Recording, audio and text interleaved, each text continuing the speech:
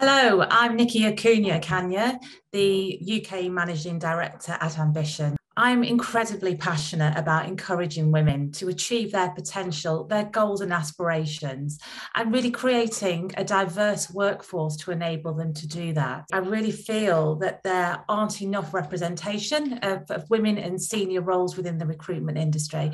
And there's so much that we need to do to be able to achieve that. So at Ambition, we do really focus on making sure that people have the opportunities to achieve what they want in their careers and to really go after after their personal goals.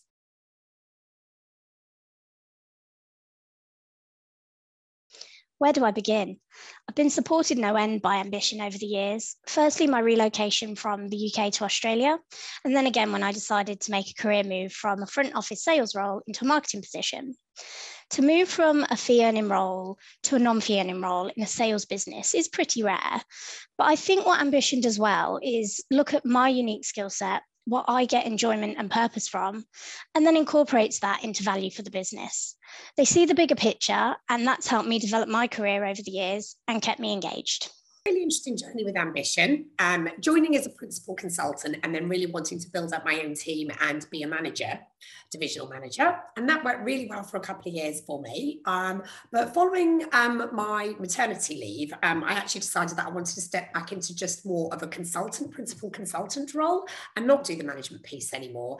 And they were very flexible with me at that stage as well and it was just nice to be able to um, go down that route. Um, and since then i've stayed in that principal consultant role. Um, I now have family and it's just working well for me as well, just being flexible in terms of um, how I work with my days um, and my working week.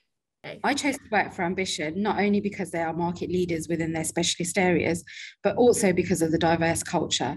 The team is made of people from all walks of life, which makes it a vibrant and inclusive place to work. Ambition's been incredibly supportive of my career over the years. I've been given opportunities to progress through the ranks. And most notably, when I was seven months pregnant, I still got a promotion, which I think is amazing. Um, also, when I came back from maternity leave, they were willing to give me all the flexibility that I've needed in order to juggle the demands of a young family with a senior level role. So I'll always be grateful to them for that opportunity. Joined Ambition as an associate consultant um, and then progressed into a consultant role.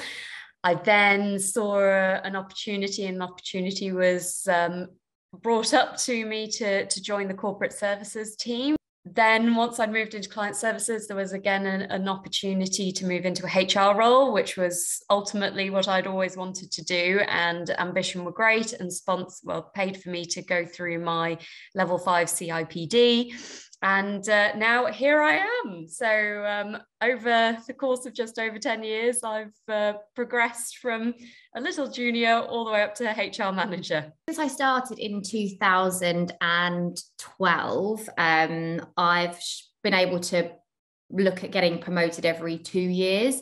So there's been quite steady opportunities for me to look at my next step in in the ladder ambition. I have never felt at a disadvantage because I'm a young female. I've always been given the opportunity to do whatever it is I've wanted to do and fully supported by that. So yeah, for me, they've done everything that I've I've needed of an employer and and more, to be honest. So for me, they've they've been the backbone of everything and I wouldn't be where I am today without them.